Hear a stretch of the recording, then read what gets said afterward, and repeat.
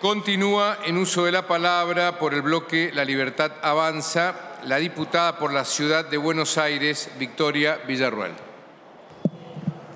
Gracias, señor presidente.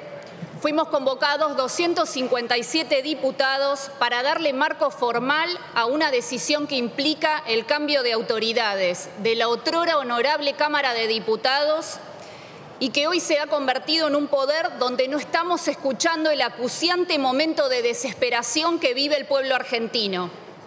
Semanas y días de profunda intranquilidad, de poca estabilidad institucional y de una clase política que, por ejemplo, le da subsidios a la cultura mientras millones de argentinos viven bajo la línea de pobreza.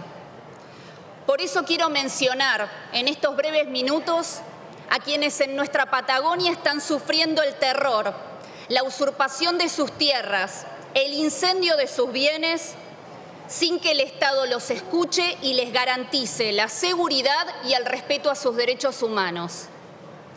Bajo el paraguas de los supuestos pueblos originarios y con la complicidad estatal, los denominados mapuches, gracias al gobernador de Neuquén, Omar Gutiérrez, obstaculizan y participan de la toma de decisiones respecto de vaca muerta.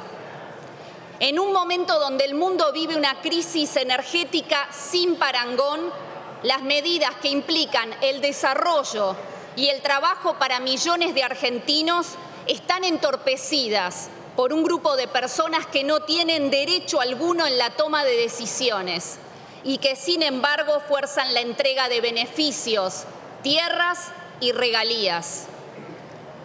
Y mientras esto pasa, en Río Negro también los usurpadores del Lof Lafken Mapu incendiaron una propiedad privada, incendiaron la casa de otros argentinos a los cuales el Estado ha dejado desprotegidos. Por ello, mientras estos, mientras estos gravísimos hechos ocurren, por los que vamos a perder nuestra Patagonia ganada con sangre, sudor y trabajo, unos oportunistas disfrazados de originarios ponen en peligro nuestra soberanía y la paz de quienes allí habitan.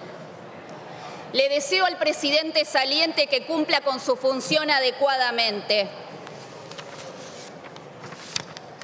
y abogo porque en la Cámara porque en esta Cámara estemos a la altura de las difíciles circunstancias que estamos viviendo los argentinos.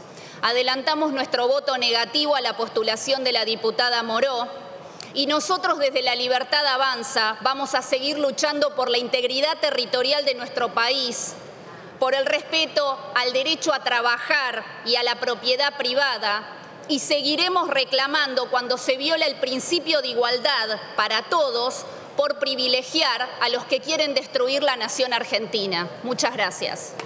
Gracias, diputada Villarruel.